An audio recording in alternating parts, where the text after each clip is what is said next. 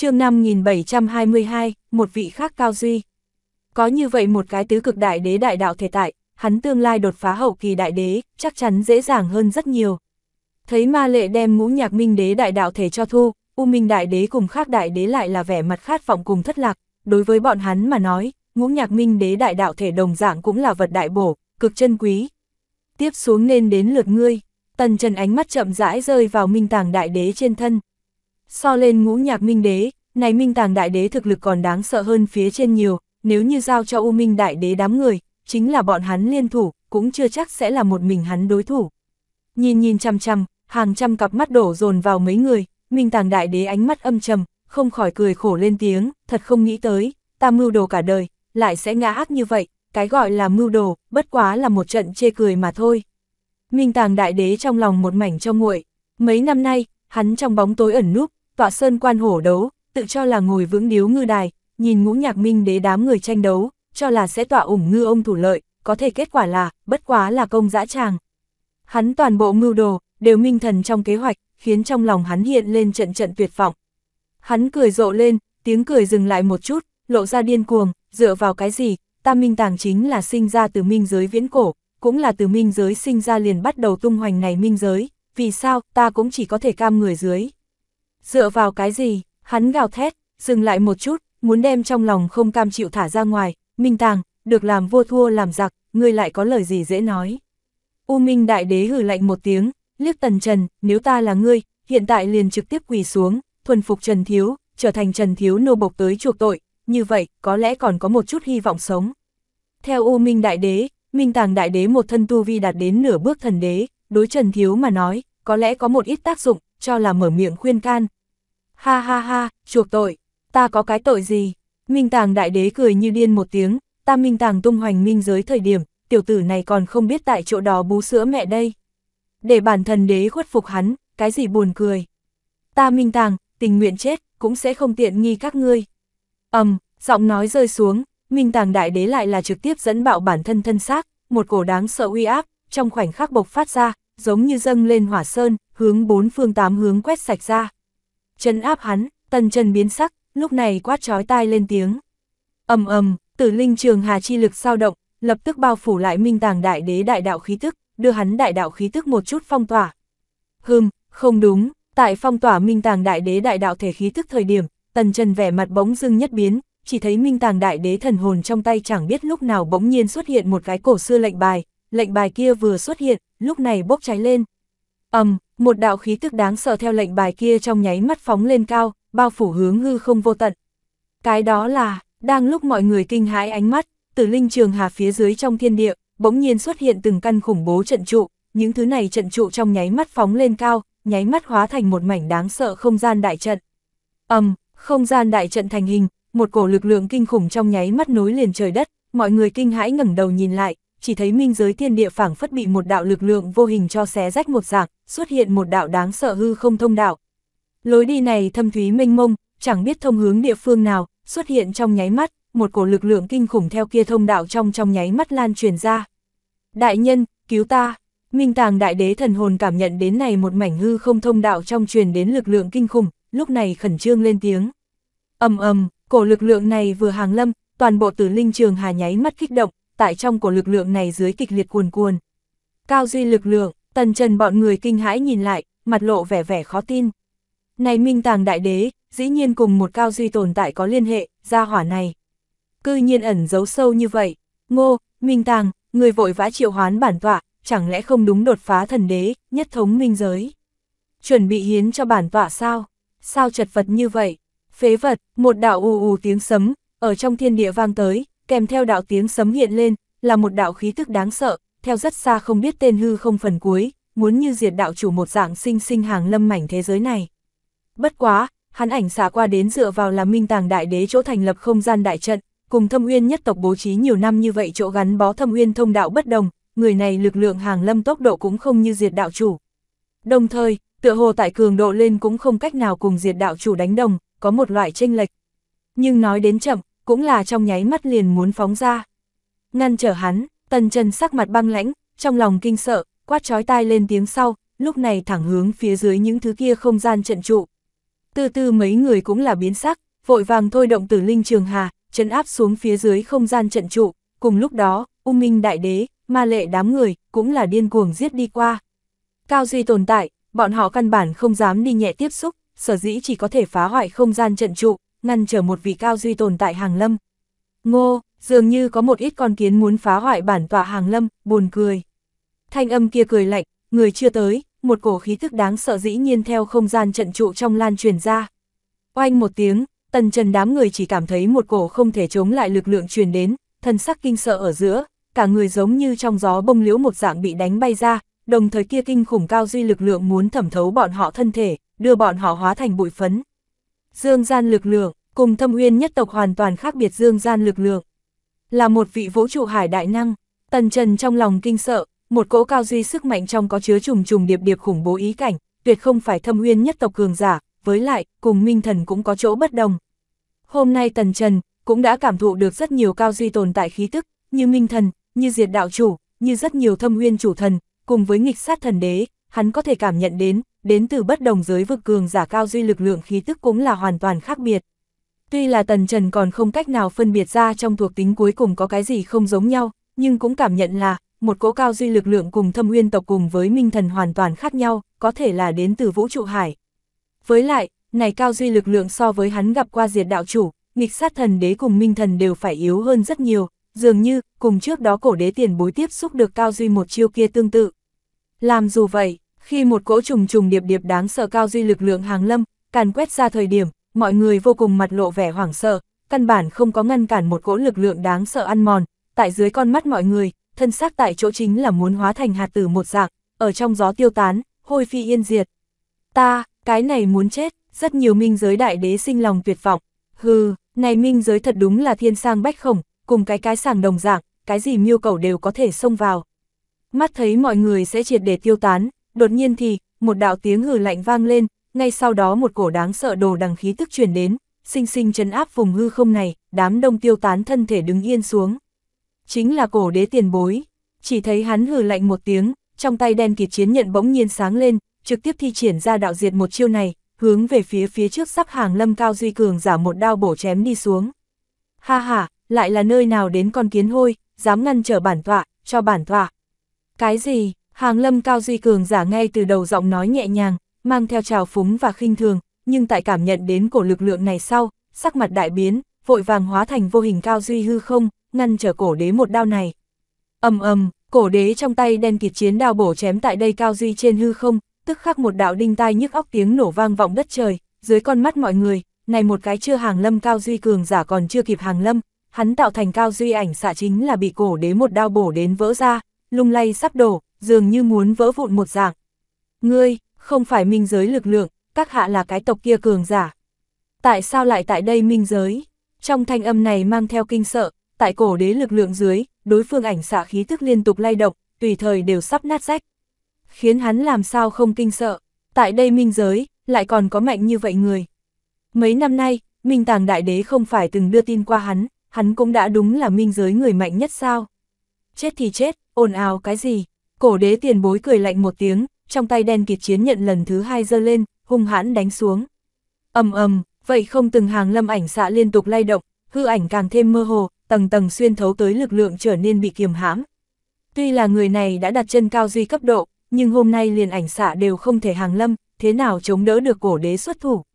Răng rắc một tiếng, phía dưới tầng tầng không gian trận trụ liên tục lay động, nháy mắt xuất hiện rất nhiều vết dạn. Đại nhân, cứu ta, Minh Tàng Đại Đế hoảng sợ gào thét, hắn cũng đã nhìn thấy đến, này ảnh xạ vô cùng có khả năng không cách nào hàng lâm nơi này. Đáng chết ra hỏa, ung ung, tức giận tiếng gào thét vang vọng đất trời, này khủng bố cao duy lực lượng rốt cuộc biết bản thân không cách nào hàng lâm, lúc này hóa thành một đạo lực lượng vô hình đem minh tàng đại đế tàn hồn nháy mắt bao vây, mang hướng vô tận không gian thông đạo trong.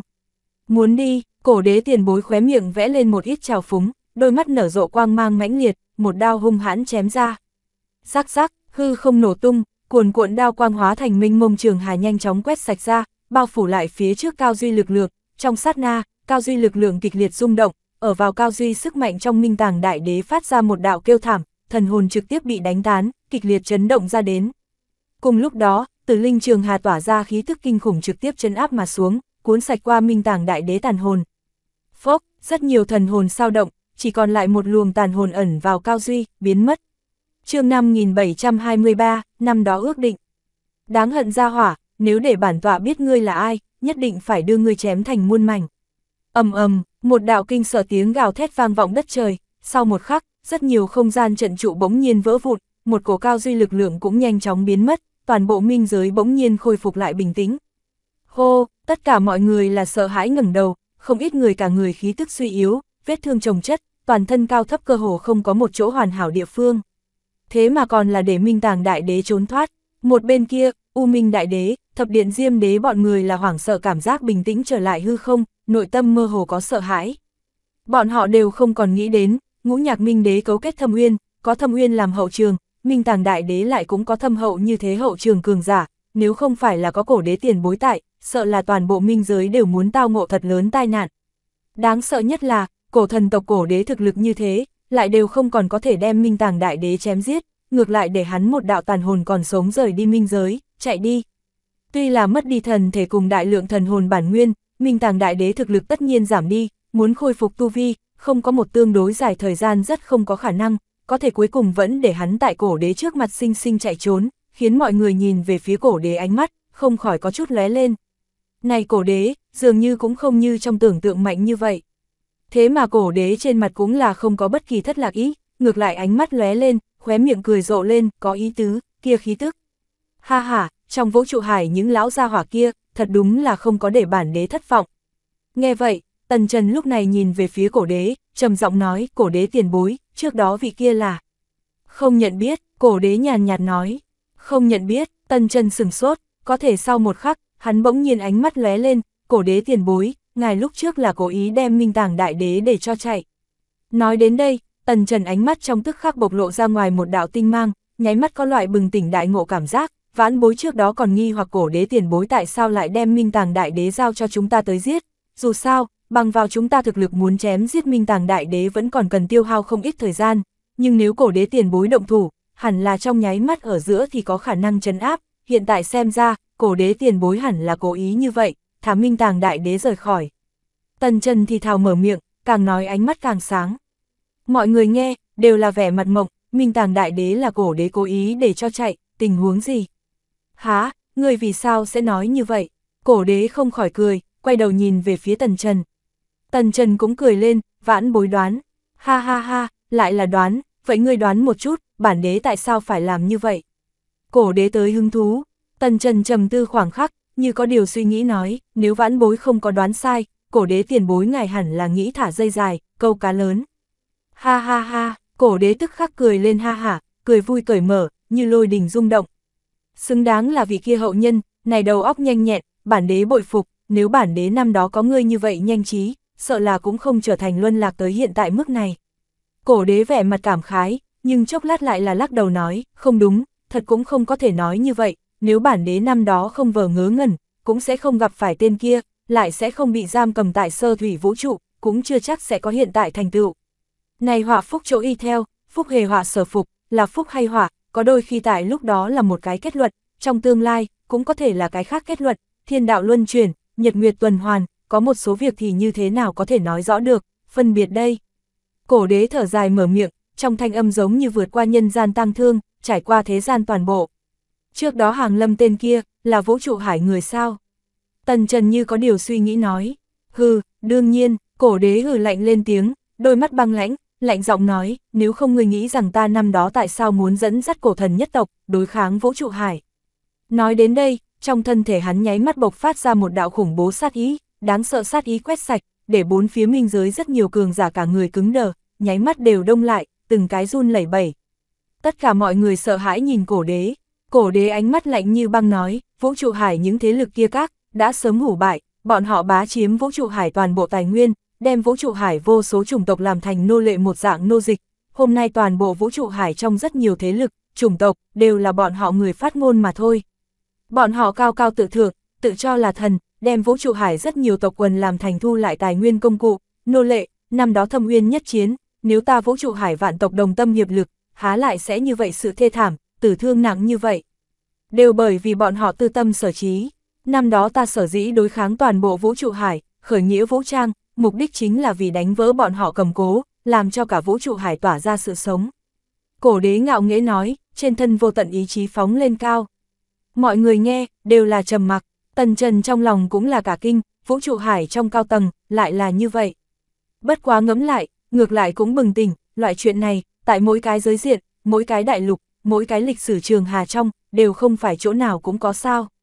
Đối bên ngoài, lúc nào cũng sợ hãi rụt rè, đối nội, lại luôn trọng quyền đả kích. Bản thân không được, nhưng nội đấu cũng là một tay hảo thủ. Rất nhiều tộc quần, vô số chủng tộc, đều là bởi vậy, mới dần dần mai một đi. Có thể cổ đế tiền bối người năm đó tu vi, cùng bọn họ đối kháng, dường như không có phần thắng chút nào đi. Tần Trần cao mày nói, hay là nói, người không biết những tên kia tồn tại sao? Tự nhiên là có hiểu biết, cổ đế cười lạnh nói, đây chính là những tên kia dối trá chỗ, rõ ràng muốn chỗ tốt, tùy ý trưởng khống cuộc đời hắn chết, lại phải muốn làm bộ một bộ cao cao tại thượng, cực công chính bộ dáng, nói cái gì không can dự vũ trụ hải đấu tranh. Buồn cười, năm đó ta tu vi, nhiều nhất cũng chính là minh tàng đại đế tình trạng, nhưng ta cổ thần nhất tộc, đồng tâm hiệp lực, chiến vũ trụ hải số người cuồn cuộn, kém chút tới một cái nhìn lên. Những tên kia rốt cục nhìn không được, lợi dụng thủ đoạn hèn hạ, trong bóng tối ra tay với ta, muốn đem ta tiêu diệt, nếu không phải là ngươi.